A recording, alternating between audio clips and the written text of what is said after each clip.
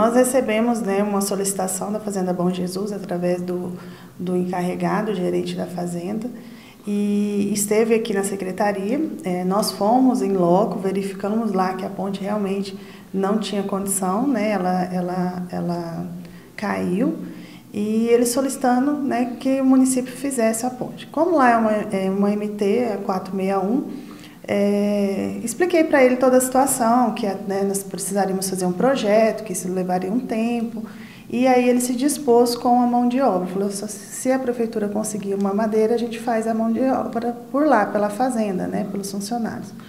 E e nós tínhamos ganhado uma, uma, uma, uma ação, uma, um, dois lotes de madeira, né, através do Poder Judiciário, prefeito, é, um processo de 2018, 19, salvo me engano, e a, a doutora Ângela, na época juíza local, ela doou para o município esses dois lotes, um lote sem aproveitamento, devido ao tempo ele já tinha deteriorado, e o outro com aproveitamento, que era para ser usado, né, é, pela secretaria no município. Então, eles vieram, verificaram que a madeira dava para ser usada lá na ponte, que resolveria o problema.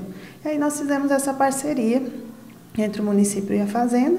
Né? Eles vieram buscar a madeira e eles fizeram a mão de obra. E aí, essa semana, eles concluíram e nós estivemos lá presente para verificar né, todo o serviço que foi realizado.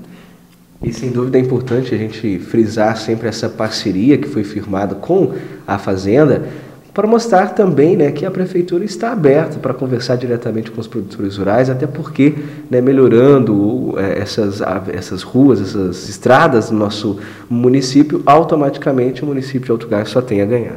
Sim, com certeza, né? até porque ali assim, não beneficia uma fazenda, né? São várias ali da região. Então, é um, é um local que tem várias propriedades rurais ali, né? A Bom Jesus tomou a frente nisso, eles é, chamaram os vizinhos, né? Os, ali os confrontantes das áreas, porém, é, eles que tomaram a frente, né? Mas, claro, para beneficiar toda a região, né? Tanto no escoamento de grãos, como também no transporte escolar, porque são, são fazendas que têm crianças né, que vêm estudar aqui em Alto Garças. Então, que precisam dessa, dessa ponte, né, esse trajeto ali fazem todos os dias. Então, assim, foi para beneficiar toda a região mesmo. Seguindo nessa onda de visitas, a secretária de Infraestrutura e Obras do nosso município esteve vistoriando a Praça Central, a obra da Praça Central. Como que estamos? Então, estivemos lá com os engenheiros né, também essa semana.